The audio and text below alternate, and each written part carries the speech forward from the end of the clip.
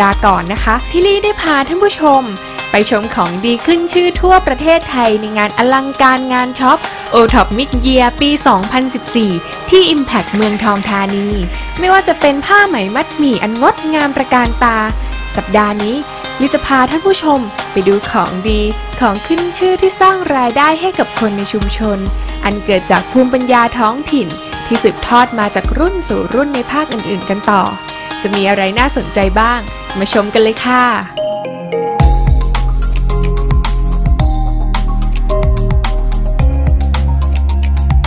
เรามาชมของดีจากภาคใต้กันต่อดีกว่า โอ้โห มีเพียบเลยค่ะ ไม่ว่าจะเป็นไม้เทพทาโรแกะสลัก ผลิตภัณฑ์จากย่านลิเพาแกะสลักหนังตะลุง ผ้าบาติก และไข่มุกจากอันดามัน ซึ่งเป็นของขึ้นชื่อที่โดดเด่นและสวยงามเหมาะกับสาวสวยอย่างลี่มากเลยล่ะค่ะ เขาเรื่องกันดีกว่าค่ะ ไข่มุกที่นี่เขาเกิดจากการเพาะเลี้ยงหอยมุกจานในทะเลอันดามัน เป็นระยะเวลากว่า 30 ปี ซึ่งเป็นที่รู้จักกันในนามว่า ไข่มุกทะเลใต้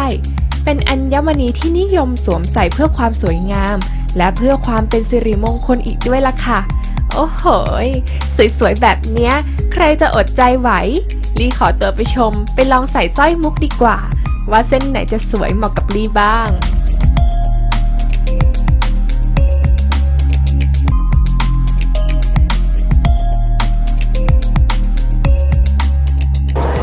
สวยๆ ทั้งนั้นเลยค่ะท่านผู้ชม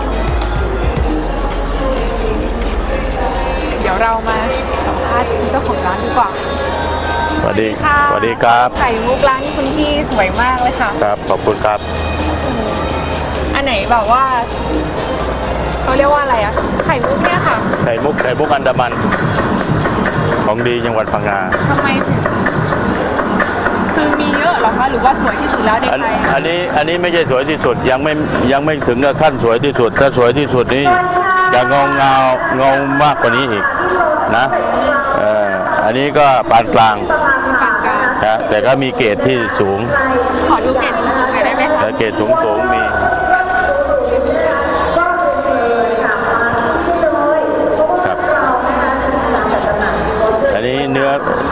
น้ำมันจะดีกว่าเงาวาวเงาเงากว่าอันนี้ใช่ใช่แต่แต่ถึงจะแพงยังไง มุกก็ต้องมีตำหนิเพราะว่ามันจะถ้ามันอยู่ในตัวหอยนะเอออันนี้เท่าไหร่อันนี้ตกเส้นประมาณแสนแปดหมื่นแสนแปดหมื่นค่ะครับแสนแปดถ้าถ้าถ้าถ้าเส้นนี้ตกประมาณแปดพันห้าร้อย ยากไหมคะกว่าจะได้แต่ละเม็ดแต่ละเส้น มุกนี่ใช้เวลาที่อยู่ในตัวหอยนี่ประมาณ20ปี20 ปี 20 ปีฮะอยู่ในตัวหอยแล้วจะออกมาเป็นเม็ดเม็ดเม็ดอย่างเงี้ยครับกลายเป็นมุกเลี้ยง มุกเลี้ยง มุกเลี้ยงอ๋อมุกเลี้ยงมันไม่ใช่มุกธรรมชาติอ๋อนี่คือมุกจากเลี้ยงเหรอมุกมุกเลี้ยงมุกในฟาร์ม มุกที่ฟาร์ม ฟาร์มมุกอันนี้คือคุณพี่ทำเป็นอาชีพแบบเป็นบ้านเดียวหรือว่าเขาทำเป็นชุมชนเลยอะคะเขาที่ทำเป็นทำเป็นชุมชนทำเป็นกลุ่มทำเป็นรูปสหกรณ์เป็นอาชีพหลักเลยหรือเป็นเปล่าอาชีพหลัก แล้วก็เอามาเป็นผลิตภัณฑ์โอท็อปหนึ่งตำบลหนึ่งผลิตภัณฑ์นะครับ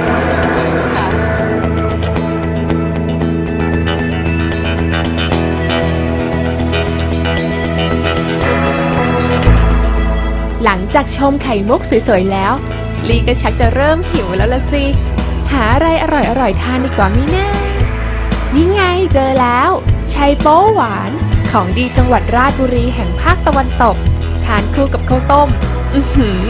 อร่อยอย่าบอกใครเชียวละค่ะท่านผู้ชม นอกจากนี้เขายังมีผักกาดดอง ยำชัยโป๊ห้ารส และผักดองอื่นๆสำหรับทานกับข้าวต้ม นับว่าเป็นผลิตภัณฑ์ที่สร้างชื่อเสียงให้กับจังหวัดราชบุรีอีกผลิตภัณฑ์หนึ่งเลยนะคะ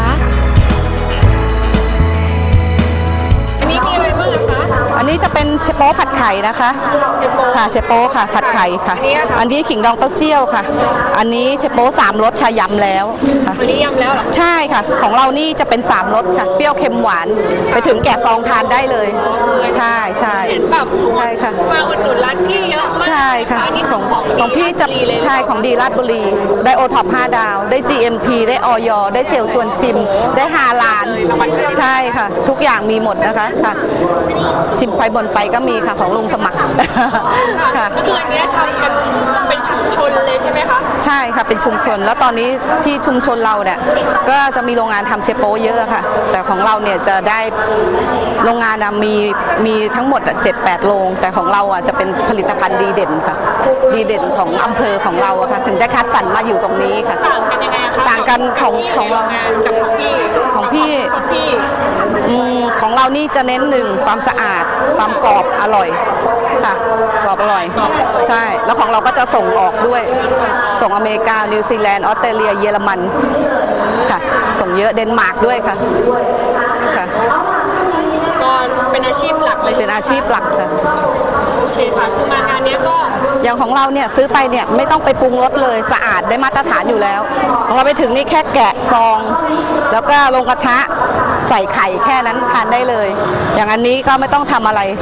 ค่ะ สามรสทานได้เลยเหมือนกันพี่ค่ะเราใช้โป๊ะเนี่ยทำมาจากอะไรคะ ทำมาจากเชเท้านะคะ เชเท้านี่คือการไปหมักไปดองนะคะ ใส่น้ำตาลใส่เกลือค่ะ คือใช้เท้าใช้เท้า ลองใส่เกลือแล้วก็กลายเป็นใส่เกลือใส่น้ำตาลใช่เป็นไชโปะอ๋ค่ะ ออย่างนี้นี่เองแต่ หนูเพิ่งทราบเลยนะคะเนี่ย แต่ขั้นตอนการผลิตนี่ยากค่ะ ถ้าไม่ถึงเกลือจะไม่กรอบค่ะ แล้วของเราจะไม่มีสารปนเปื้อน สารกรอบไม่มีค่ะ ได้มาตรฐาน ค่ะ รับประกันค่ะ โอ้ดีจังเลยกินแล้วยังดีต่อสุขภาพด้วย ไม่ต้องใช่กลัวค่ะ ว่าจะมีอันตรายต่อร่างกาย ค่ะ มีค่ะ มีธาตุเหล็กสูงค่ะ กินเชเท้าแล้วดีค่ะ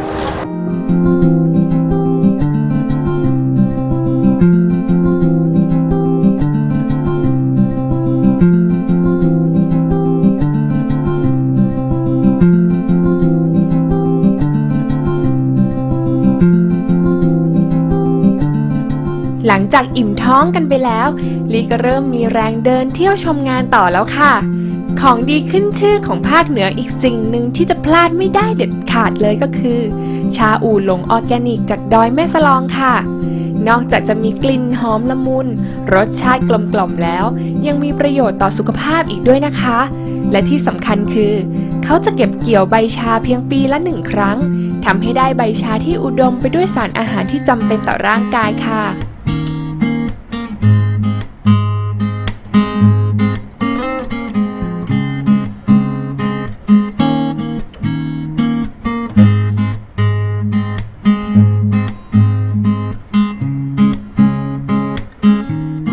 ช่องของดีทั่วประเทศไทยไป 5 ภาคแล้ว และภาคสุดท้ายที่ลี่จะพาท่านผู้ชมไปเดินเที่ยวกันต่อ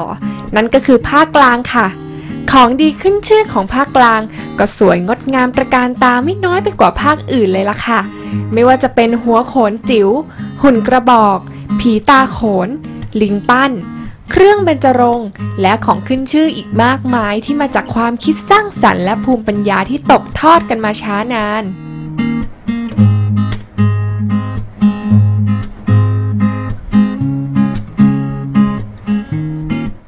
ภูมิปัญญาอย่างหนึ่งที่ลี่สนใจมากๆในงานนี้ นั่นก็คือสปาเกลือค่ะ เพราะนอกจากจะทำให้ผิวสวยๆของลี่เนียนนุ่มชุ่มชื้นขึ้นแล้ว ยังเป็นการนำทรัพยากรที่มีอยู่แล้วในท้องถิ่น มาต่อยอดสร้างมูลค่าเพิ่ม เพื่อเลี้ยงปากเลี้ยงท้องคนในชุมชนอีกด้วยล่ะค่ะ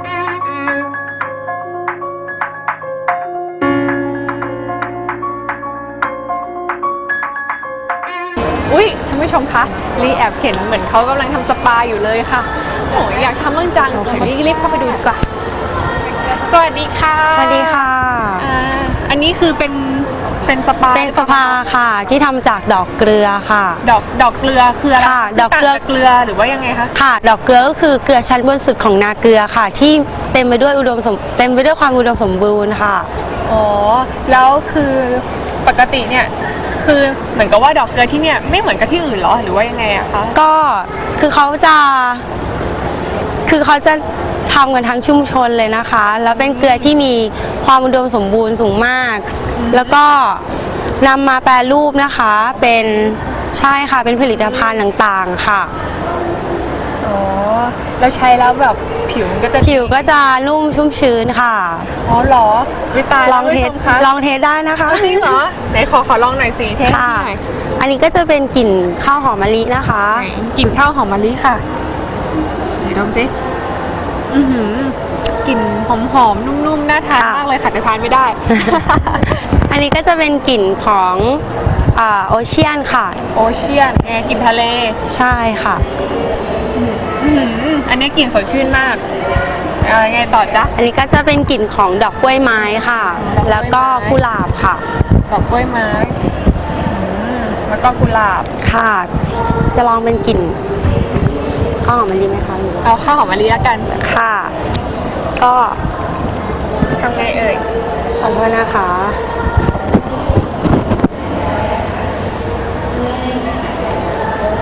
นี่นะคะ เราก็จะขัดผิวแบบเบาๆบนร่างกายนะคะ จากแล้วก็ขัดไปแล้วก็ทิ้งไว้ประมาณ 5 นาทีแล้วก็ล้างออกค่ะ 5 นาทีเองแล้วกำลังใช้ได้ทั้งตัวเลยหรือเปล่าจ๊ะ ได้ค่ะ ยกเว้นหน้านะคะ อ๋อ โอเคโหแต่กลิ่นนี้หอมมากเลยค่ะ กลิ่นข้าวหอมมะลิ ค่ะ นี่เพิ่งเคยเห็นเกลือกลิ่นข้าวหอมมะลิครั้งแรกที่ร้านน้องนี่แหละค่ะ จะรู้สึกแบบผิวนุ่มนะคะ แล้วก็ลื่นหน้าสัมผัสอะไรอย่างเงี้ยค่ะ ขอโทษนะคะจะจะเนี่ยค่ะ ลองดมดูได้ท่านผู้ชมคะดูสิคะ เห็นถึงความแตกต่าง ข้างเนี้ยจะดูกระจ่างใสกว่านะคะ แล้วก็อื้อหือทั้งหอมแล้วก็นุ่มด้วย โอ้โห อย่างนี้ รีรู้สึกคันไม้คันมือ เดี๋ยวต้องเข้าไปสปาแล้วล่ะค่ะ เอาเป็นว่า ไปเราไปสปากันดีกว่าเชิญด้านในได้ค่ะโซนโอท็อปช็อปแชะแชร์เป็นโซนที่ให้ผู้ร่วมงาน ได้ช็อปผลิตภัณฑ์ทางภูมิปัญญาอันหลากหลาย พร้อมแชะหรือถ่ายภาพความทรงจำความประทับใจ แล้วแชร์ความสุข รอยยิ้มให้กับผู้คนรอบข้าง และโซนที่นักชิมพลาดไม่ได้นั่นก็คือ โซนโอท็อปชวนชิม เพราะมีอาหารสี่ภาคมาให้ชิมกันแบบไม่อั้น นอกจากนี้ยังมีตลาดนัดภูมิปัญญา ราคายิ้มได้ในโซนโอท็อป smile และที่พิเศษกว่านั้น คือโอท็อปเยาวชนที่มาร่วมออกบูธจำหน่าย เพื่อสนับสนุนเยาวชนรุ่นใหม่ให้มาสนใจ และต่อยอดภูมิปัญญาที่สร้างสรรค์ผลิตภัณฑ์โอท็อปให้ก้าวไกลค่ะ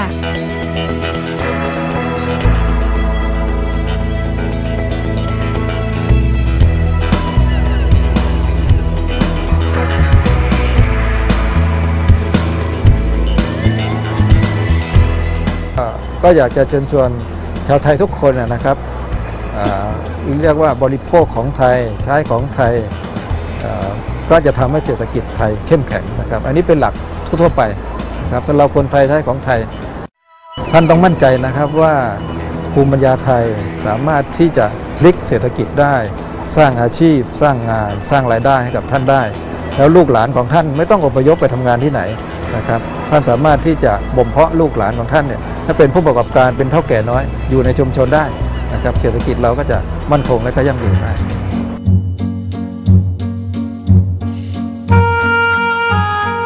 เมื่อได้เดินดูของดีของไทย ที่สืบทอดมาจากภูมิปัญญาไทยตั้งแต่บรรพบุรุษทำให้ลี่รู้สึกอิ่มใจ และภูมิใจในความเป็นไทยไม่น้อยเลยทีเดียวค่ะ นอกจากการจัดงานในครั้งนี้จะสร้างประโยชน์และโอกาสหลาย ๆ อย่างให้กับคนไทยแล้ว ยังเป็นการกระตุ้นเศรษฐกิจฐานรากได้เป็นอย่างดีอีกด้วยล่ะค่ะไม่เพียงแต่ผู้ซื้อเขาจะมีโอกาสเข้าถึงสินค้าคุณภาพ ในราคายุติธรรมจากผู้ผลิต เพราะสินค้าที่นำมาเป็นสินค้าระดับ 3-5 ดาว มาตรฐานส่งออกต่างประเทศแล้ว ผู้ผลิตยังได้ถ่ายทอดภูมิปัญญา สืบสารเอกลักษณ์ไทยให้คงอยู่ คืนรายได้กลับสู่ชุมชนอีกด้วย นี่ล่ะค่ะเสน่ห์ของอลังการงานช็อป o t o p Mid Year ปี 2014เป็นยังไงบ้างคะคุณผู้ชมกับงานอลังการงานช็อป OTOP Midyear ปี 2014 โอ้โห คุ้มมากเลยนะคะ ลี่มาแค่งานนี้งานเดียว แต่ลี่ก็ได้เห็นของดีทุกจังหวัดทั่วประเทศไทยในพร้อมๆกัน ไม่ต้องเสียเวลาด้วย สัปดาห์หน้านะคะลี่จะพาคุณผู้ชมไปพบกับชุมชนต้นแบบที่ไหน อย่าลืมติดตามกันนะคะ ในรายการปากท้องชุมชน ทุกวันอังคาร เวลาบ่าย2โมงครึ่งช่อง Spring New ตอนนี้ลิคันไม้คันมืออยากช้อปปิ้งต่อแล้วล่ะค่ะ ขอตัวไปก่อนนะคะ สวัสดีค่ะ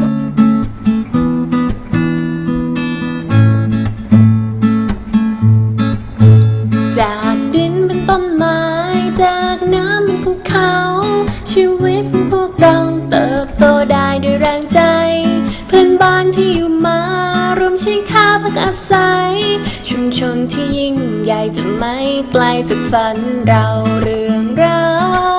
วไม่ว่าจะเป็นของผู้ใด จะสุขใจ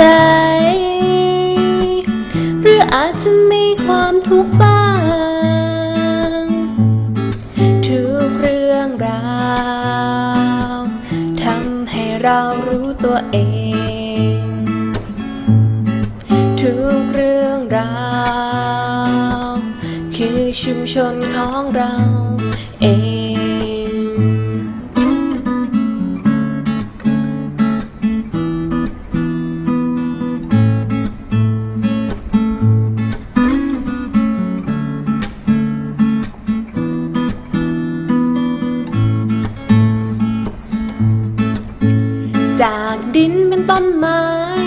จากน้ำเป็นภูเขา ชีวิตของพวกเราเติบโตได้ด้วยแรงใจเพื่อนบ้านที่อยู่มารวมใช้ค่าพักอาศัย ชุมชนที่ยิ่งใหญ่จะไม่ไกลจากฝันเราเรื่องเรา